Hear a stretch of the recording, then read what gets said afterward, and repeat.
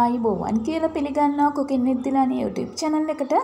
අද මම ඔයගලන්ට කියලා දෙන්නේ රසම රස ඉස්සෝ ග්‍රේවි එකක් කොහොමද හදාගන්නේ කියලා කියලා දෙන්න. හරිම රසයි, හරිම සුවඳයි.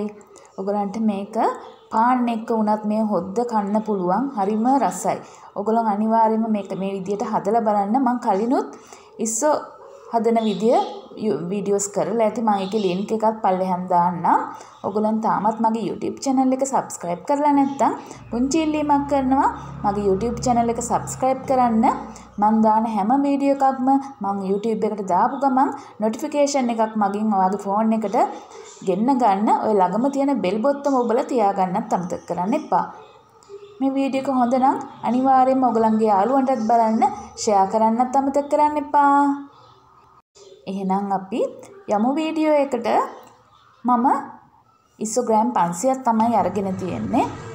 මුලින්ම දැන් භාජනයක් ලිපේ තියාගෙන ඒකට පොල් තෙල් මේස හැඳි දෙකක් විතර දාගන්නවා. ඒකට පොල් තෙල් ටික රත් වෙද්දී කුරුඳු පොතු ටිකක් එකතු කරගන්නවා. මං ඉස්සෝ ටික මේ වෙලාවේ හොඳට සෝදලා ඔලුව කඩලා අයින් කරලා තියාගෙන තියෙන තෙත බේරෙන්න. මේකට මම එනසාල් ඇට දෙකකුයි කරාබු නැටි දෙකකුයි තලලා දාගත්තා. මේ කුළුබඩු වලින්ම අපිට සුවඳක් හොඳ සුවඳක් ගන්න පුළුවන්. දැන් මම අබැට ස්වල්පකුත් එකතු කරගත්තා. අපි වෙනමම රසකාරක සුවඳකාරක මුකුත් එකතු කරගන්න ඕනේ මේ විදිහට කුළුබඩු එකතු කරගන්න.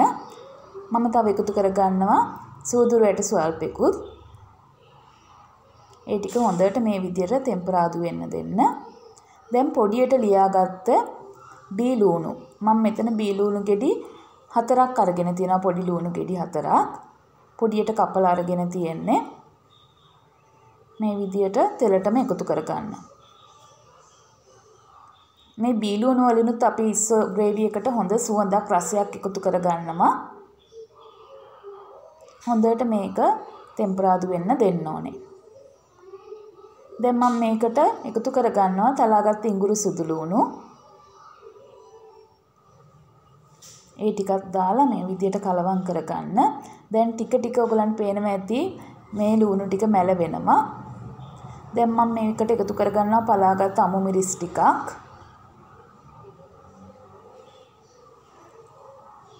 ඒකක් දාලා මේ විදියට හොඳට කලවම් කරනවා. ලිප මීඩියම් හීට් එකේ තියෙන්නේ. අපි මේකට කරපිංච ටිකක් ක්‍රම්පි කෑල්ලක් එකතු කරගමු.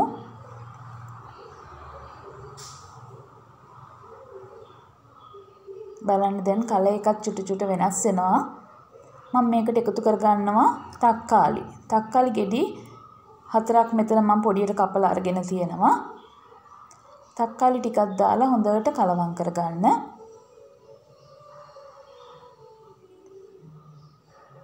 තක්කාලි ටික ලුණු ටික හොඳට කුක් වෙනකම් මේ විදියට කලවම් කරගන්න. අපි දැන් මේකට අවශ්‍ය වෙන දැන් ටික මේ බලන්න හොඳට තැම්බිලා තියෙන්නේ මේ. හොඳට කුක් වෙලා තියෙන්නේ.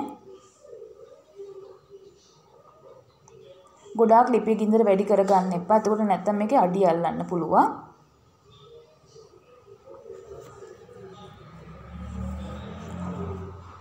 අපිට මේකට අවශ්‍ය වෙන්නේ තුන පහ කුඩු. ඔයගලගේ රස අනුව අඩු වැඩි කරගන්න පුළුවන්. සැර වැඩියෙන් ඕන නම් මිරිස් ටිකක් වැඩි කරගන්න පුළුවන්. ගම්මිරිසුත් මම එකතු කරගන්නවා. මගේ රස අනුව මිරිස් කුඩු එකතු කරගන්නවා මම. අපි මේ ටෙම්පරාදුවටම තමයි දාන්නේ. එතකොට ටිකක් සැර බාල වෙනවා ලස්සන පාටකුත් එනවා. තව අපිට උමනා වෙනවා කහ ස්වල්පයක්.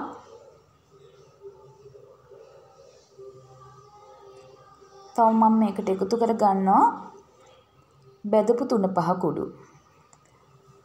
ලස්සන පාටක් වගේම සුවඳක් රසක් එකතු කරගන්න අපි බෙදපු තුන පහ කුඩු මේකට එකතු කරගන්නවා.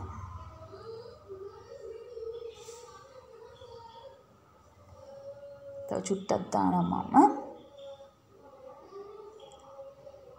තව අපිට ඕනේ මේකට ගම්බිරිස් ටිකක්. ඔයගලගේ රස අනුව ගම්බිරිස් එකතු කරගන්න. මේ ටික හොඳට කලවම් කරන්න ඕනේ.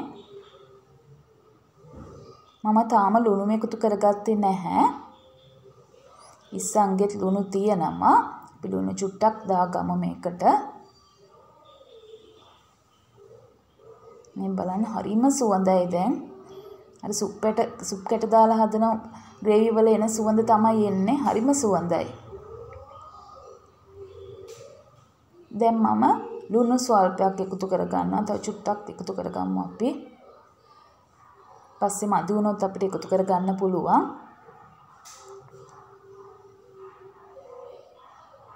ලුණු ටිකක් මේ විදියට හොඳට ලුණු වල එහෙම අල්ලන්න මේ විදියට කලවම් කරගන්න ඕනේ. දැන් අපි අර පිරිසිදු කරලා තියාගත්ත ඉස්සෝග්‍රෑම් 500 මේකට එකතු කරගන්නවා.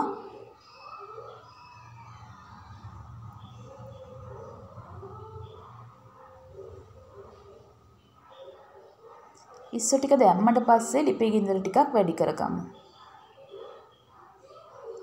ඉස්සෝ ටික තැම්බෙන්න ගොඩක් වෙලා යන්නේ නැහැ. මේ විදියට ටිකක් වෙලා තියමු. ලිපේ ගින්දර මම වැඩි කරගත්තා. අපි දැන් මේකට මම එකතු කරගන්නවා පොල් කිරි.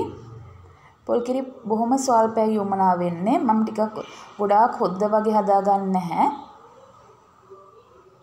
පොල් කිරි ටික දාලා හොඳට මේක කුක් වෙන්න දෙන්න ඕනේ. දැන් බලන්න මේ බලන්න ග්‍රේවි එක හොඳට කුක් වෙලා තියෙන්නේ. හරි උක්කුයි. හරිම සුවඳයි. ඔයගොල්ලෝ එක දවසක් මේ විදිහට හදලා බලන්න. මේ බලන්න දැන් ලිප් මම ලිප් ඔෆ් කරලා තියෙන්නේ. ඔද්ද නිවිල හරියට හොඳට උකුවට ඇවිල්ලා තියෙනවා. අනිවාර්යයෙන්ම මේ වීඩියෝ එක බලලා මේ රෙසිපි එක රෙසිපි එක try කරලා බලන්න. මේ වගේ තවත් අලුත් වීඩියෝ එකකින් එනකන් ගිහින් එන්නම්.